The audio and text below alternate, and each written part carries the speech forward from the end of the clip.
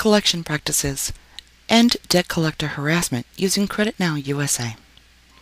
Are you a victim of unfair and unscrupulous debt collection practices? Do you receive constant phone calls on your cell phone or your personal from debt collectors looking to pressure you into paying off debt? Have you ever been targeted for debt that isn't even yours?